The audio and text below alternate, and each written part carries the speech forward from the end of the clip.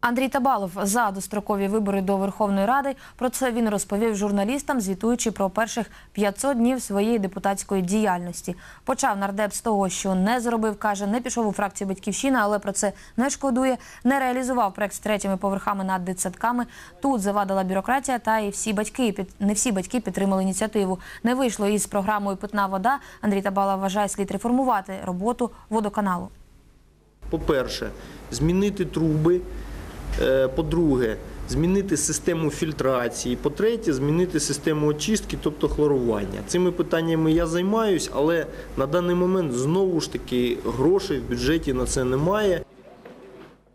Серед досягнень нардеп називає законопроект про соціальний захист кіровоградців, ініціативи, що не дозволяють встановлювати станції стільникового зв'язку, а також будувати будь-що без згоди громади. Також Андрій Табалов пропонує, щоб ЖЕКи і КРЕПи двічі на рік звітували про те, на що витрачають гроші споживачів.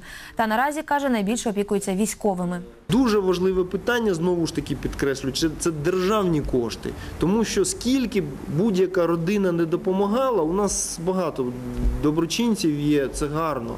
Але скільки б допомоги вони не надавали, це не вирішить питання, тому що армії потрібні мільярди.